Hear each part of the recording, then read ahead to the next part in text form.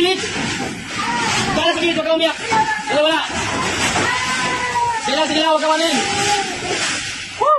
George!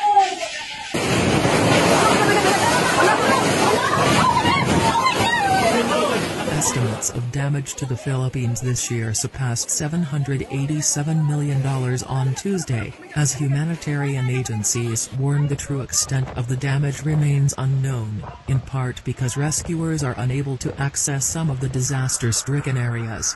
Super Typhoon Rai, known locally as Odette, has now destroyed at least 375 localities since it broke through the archipelago late last week, the Philippine National Police said. At least 51,500 houses were reported to have been destroyed. More damage is expected to be confirmed as rescue operations continue. But humanitarian workers face the daunting task of reaching some areas cut off from littered and swampy roads, and some with telephones and internet disconnected. Senator Richard Gordon, chairman of the Philippine Red Cross, said Tuesday that five bridges on Palawan were destroyed by the storm. According to official figures for 2020, the western province is home to about 1 million people. The houses are completely destroyed. We are trying to send urgent aid, including water, food and medicine, Gordon said. The settlements were completely cut off. Addressing the international community, Gordon said funds were urgently needed for rescue efforts. Millions of people have been affected by this typhoon and supplies are scarce, he added.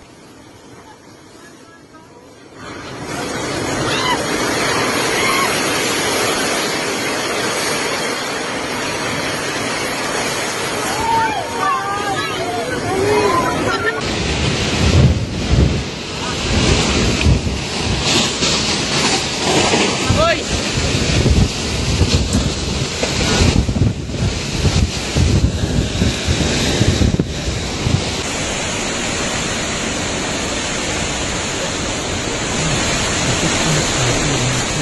the This year, hit Siargao Island on Thursday, a popular tourist destination and surfing spot in the Caraga region of northeastern Mindanao.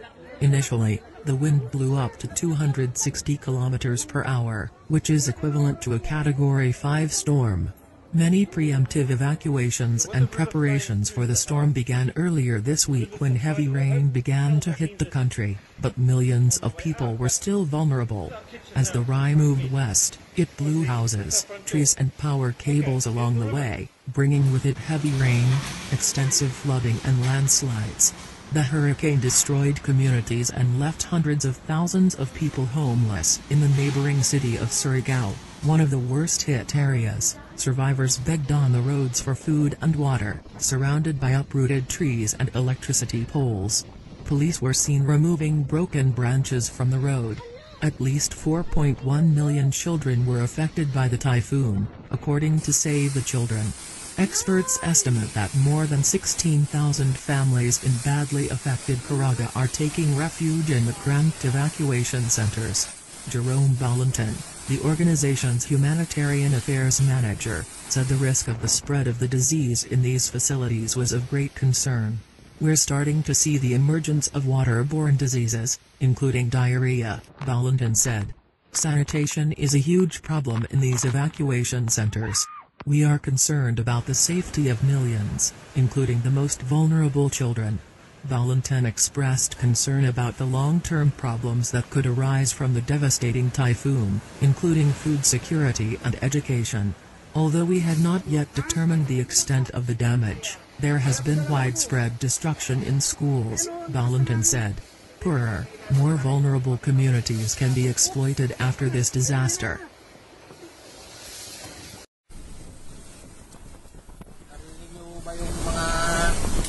bibis na lagi. Kaya paraw tayong, paraw kami tumatakbo ng Yan ano, na kadot.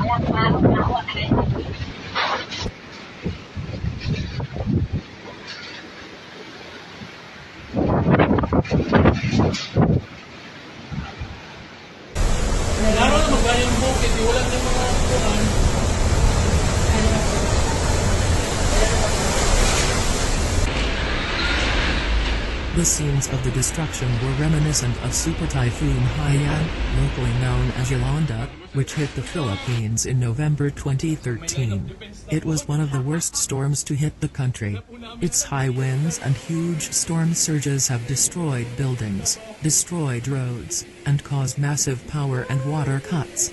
The human-induced climate crisis is making typhoons, hurricanes and cyclones more intense and destructive, and the Philippines is one of the most climate vulnerable countries in the world. The Catholic Church in the Philippines is mobilizing to help millions. A humanitarian alarm was raised. Many people affected by this disaster are desperate and in need of food, water, clothing, temporary shelter and medicine. They are limited in their towns and villages as most of the road networks are cut off. In addition, it is very difficult to get in touch with people now, and it is difficult for people to get in touch with the affected communities. Bishop Alberto says, Given our grave situation, we humbly approach you for donations of money, including basic necessities. We ask you to continue praying for us. The Archbishop of Cebu, Monsignor Jose Palma, asked everyone to show concrete solidarity with the people seriously affected by Typhoon Odette. In some parishes in southern Cebu, roads still lie on supports and debris. People line up in long lines for water and gasoline. There is no electricity or communication in the south of Cebu. Most families have been affected by the typhoon. People need food, clean water and hygiene kits. Father Antonio Labiao, Executive Secretary of Caritas in the Philippines, reports that several dioceses in the Visayas and Mindanao regions were severely affected by the typhoon and that they urgently need shelter, food, water and medicine. According to the first operational estimate, the typhoon devastated up to 10 dioceses.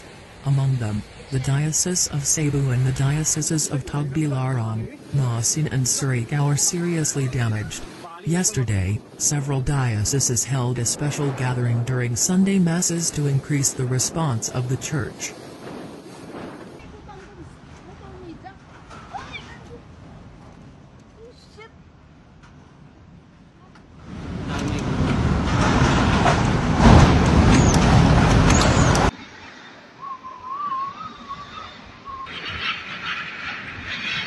So, pwede ba pa?